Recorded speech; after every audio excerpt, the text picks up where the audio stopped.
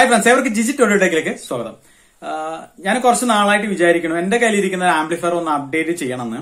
കാരണം എന്താ വെച്ച് കഴിഞ്ഞാൽ ഇപ്പൊ നിലവിൽ യൂസ് ചെയ്തുകൊണ്ടിരിക്കുന്നത് ഒരു ചാനലിൽ പത്തോ പതിനഞ്ചോ വാട്സ് കിട്ടുന്ന T D A twenty thirty I C ഉപയോഗിച്ചിട്ടുള്ള ഒരു ആംപ്ലിഫയർ ബോർഡാണ് സോ അത് അത് ശരിക്കും പറഞ്ഞാൽ എനിക്ക് മതിയായിരുന്നു. ചെറിയ തോതിലുള്ള ഒരു ഔട്ട്പുട്ടേ ഞാൻ ഉദ്ദേശിക്കുന്നുള്ളൂ. കാരണം ഒരുപാട് വലിയ വോളിയത്തിൽ കേൾക്കണമെന്ന് ഞാൻ ആഗ്രഹിക്കുന്നില്ല.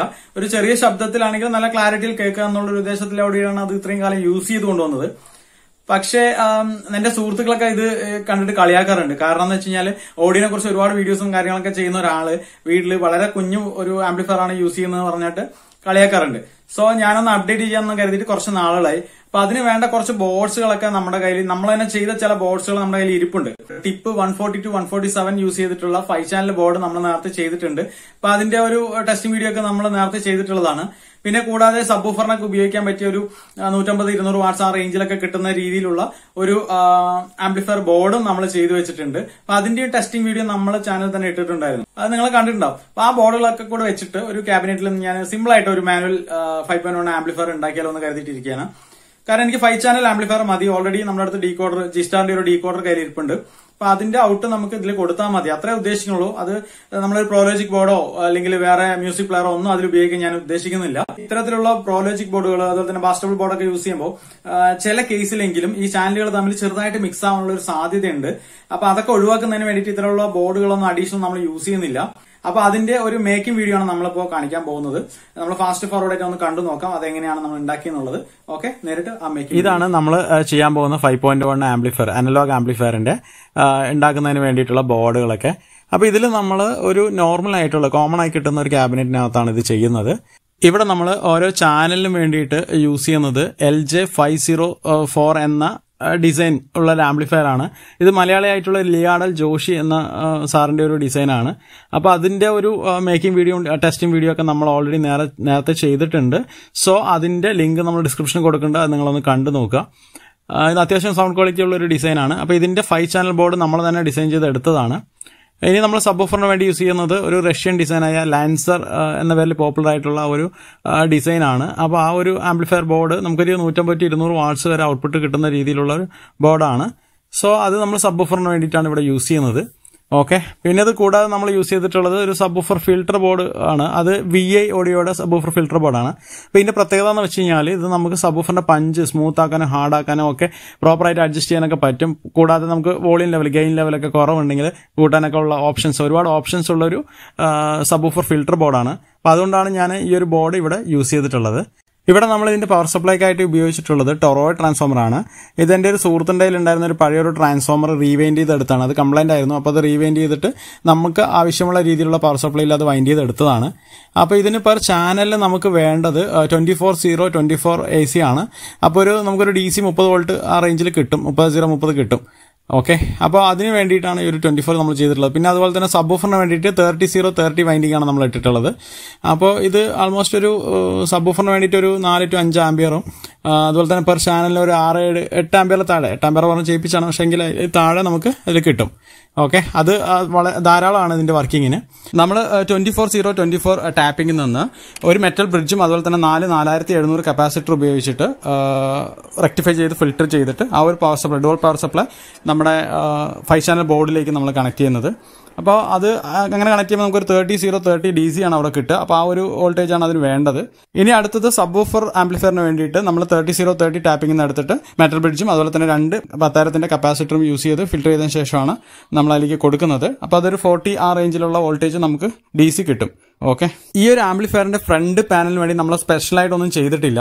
നോർമലായിട്ട് കിട്ടുന്ന ഒരു അക്രലിക് ഷീറ്റിനെ കട്ട് ചെയ്തിട്ട് ജസ്റ്റ് ഹോൾ ചെയ്തിട്ട് ആറ് വോളിയം കൺട്രോൾ വെച്ചിട്ട് മാനുവലായിട്ട് അതായത് അനലോഗ് ആംപ്ലിഫയർ ആയിട്ടാണ് നമ്മളിപ്പോൾ ചെയ്യുന്നത്.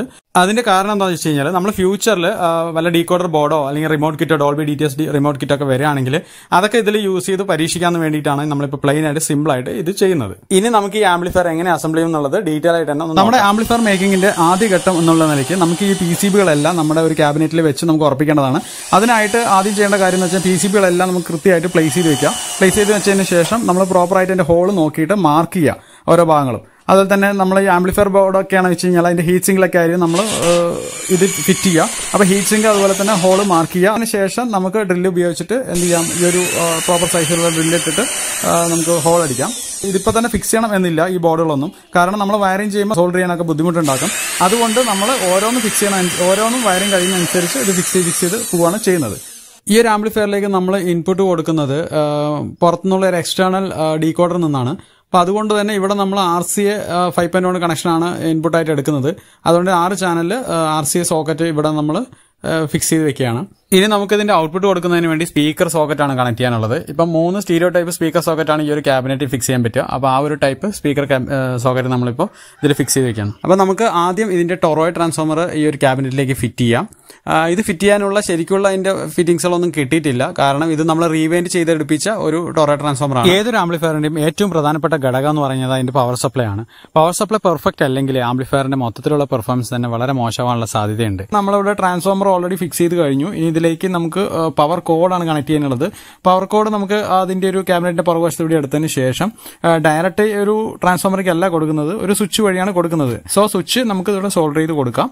അപ്പോൾ ഇത് കണക്ട് ചെയ്യുന്നതോടൊപ്പം തന്നെ ഇതിനൊരു നമ്മൾ സ്ലീവ് ഇട്ട് കൊടുക്കേണ്ടതാണ്. അല്ലെങ്കിൽ നന്നായിട്ട് ടേപ്പ് ഇട്ട് കൊടുക്കണം. കാരണം ഇതൊരു എ സി ലൈൻ ആയതുകൊണ്ട് തന്നെ ഇത് എങ്ങാനും ബോഡി ലൈനിൽ ടച്ച് ആവാൻ ഇടയായാൽ നമുക്ക് ഷോക്ക് അടിക്കാൻ സാധ്യതയുണ്ട്. ഇനി നമുക്ക് ഈ ട്രാൻസ്ഫോമറിന്റെ സെക്കൻഡറിയിൽ വരുന്ന കണക്ഷൻസ് കൊടുക്കാം. അതിൽ തേർട്ടി സീറോ തേർട്ടി ടാപ്പ് എടുത്തിട്ട് നമ്മളൊരു മെറ്റൽ ബ്രിഡ്ജ് റെക്ടിഫയർ ഉപയോഗിച്ചിട്ട് ഡി സി ആക്കിയതിന് ശേഷം അതൊരു ടെൻ തൗസൻഡ് രണ്ട് ഫിൽട്ടർ കപ്പാസിറ്ററിൽ കണക്ട് ചെയ്തിട്ട് അതിന്റെ ഔട്ട് എടുത്തിട്ടാണ് നമ്മൾ സബ് ഫോർ ആംപ്ലിഫയർ ബോർഡിലേക്ക് കണക്ട് ചെയ്യുന്നത്. അപ്പോൾ അതിന് വേണ്ടിയിട്ടുള്ള വയറുകളെല്ലാം നമുക്കിവിടെ സോൾഡർ ചെയ്ത് കൊടുക്കാം. ഇനി നമുക്ക് നമ്മുടെ ട്രാൻസ്ഫോമറിൽ നിന്നുള്ള twenty four zero twenty four tapping എടുത്തിട്ട് അത് നമ്മൾ നേരത്തെ ചെയ്തു വെച്ചിട്ടുള്ള നാല് നാലായിരത്തി എഴുന്നൂറ് യൂസ് ചെയ്തിട്ടുള്ള പവർ സപ്ലൈ ബോർഡുണ്ട് ഒരു മെറ്റൽ ബ്രിഡ്ജും വെച്ചിട്ട്. അപ്പോൾ അതിലേക്ക് കണക്ട് ചെയ്ത് കൊടുക്കാം. അപ്പോൾ ഇതിന്റെ ഔട്ട് നമ്മൾ കൊടുക്കാൻ വേണ്ടി പോകുന്നത് നമ്മുടെ ഫൈവ് ചാനൽ ബോർഡിലേക്കാണ് അപ്പോൾ അതിലേക്ക് thirty zero thirty D C വോൾട്ടേജാണ് വേണ്ടത്. അപ്പോൾ ഇതിന്റെ ഔട്ട് അത്രയും നമുക്ക് ആ ഡി സി വോൾട്ടേജ് കിട്ടുന്നതാണ്. അപ്പോൾ അത് നമുക്ക് കണക്ട് ചെയ്യുന്നതിന് വേണ്ടിയിട്ട് ഇപ്പോൾ ഈ ഒരു പവർ സപ്ലൈ ബോർഡിലേക്ക് സോൾവ് ചെയ്ത് കൊടുക്കാം. നമ്മളിവിടെ ചെയ്തിരിക്കുന്ന രണ്ട് പവർ സപ്ലൈ നോർമൽ ബ്രിഡ്ജ് ഉപയോഗിച്ചിട്ടുള്ള ഡുവൽ പവർ സപ്ലൈ തന്നെയാണ്. നമ്മുടെ അടുത്ത് നാല് നാലായിരത്തി കപ്പാസിറ്റർ ഉള്ളതുകൊണ്ട് ഒരു ബോർഡ് വഴി ഫിക്സ് ചെയ്തിട്ട് അതിന്റെ ഔട്ട് എടുക്കുകയും മറ്റേത് സ്ഥലം ലാഭിക്കുന്നതിന് വേണ്ടിയിട്ട് രണ്ട് പത്തായിരത്തിന് കപ്പാസിറ്റർ വെച്ച് അതിന്റെ ക്യാബിനറ്റിൽ തന്നെ ഫിക്സ് ചെയ്തിട്ടും അതിന്റെ ഔട്ട് എടുക്കുകയാണ് ചെയ്തിട്ടുള്ളത്. ഈ ഒരു വീഡിയോ മുഴുവനായിട്ട് നമുക്ക് ഒരു പാട്ടിൽ ഉൾപ്പെടുത്താൻ കഴിയില്ല. കാരണം ഇത് ഒരുപാട് ലെങ്ത് വരുന്നുണ്ട്. സോ നമുക്ക് പാർട്ട് പാർട്ടായിട്ട് ഇടാം. ഇപ്പം നമ്മൾ പവർ സപ്ലൈ വരെയുള്ള ഈ ഒരു കാര്യങ്ങളാണ് ഈ ഒരു ഫസ്റ്റ് പാർട്ടിൽ ഉൾപ്പെടുത്തുന്നത്. ഇതുമായി ബന്ധപ്പെട്ട എന്തെങ്കിലും സംശയങ്ങളുണ്ടെങ്കിൽ നിങ്ങൾ തീർച്ചയായിട്ടും അത് കമന്റിലൂടെ എഴുതി അറിയിക്കുക. അപ്പോൾ ഇതുവരെ ഇയാൾ ചെയ്ത വീഡിയോ നിങ്ങൾക്ക് ഇഷ്ടമായിട്ടാണെന്ന് വിചാരിക്കുന്നു. ഇഷ്ടമായെങ്കിൽ തീർച്ചയായിട്ടും നിങ്ങൾ ലൈക്ക് ചെയ്യുക. അതുപോലെ തന്നെ നിങ്ങളുടെ അഭിപ്രായങ്ങൾ അത് കമന്റിൽ അറിയിക്കുക. പിന്നെ നമ്മുടെ ചാനൽ സബ്സ്ക്രൈബ് ചെയ്താൽ കാണുന്നവർ തീർച്ചയായും സബ്സ്ക്രൈബ് ചെയ്തിട്ടൊന്ന് സപ്പോർട്ട് ചെയ്യുക. ഓക്കെ അപ്പോൾ എന്തായാലും സെക്കൻഡ് പാർട്ടുമായിട്ട് അടുത്ത് തന്നെ വരുന്നതാണ്. അതുവരെയ്ക്കും എവർക്കും ബൈ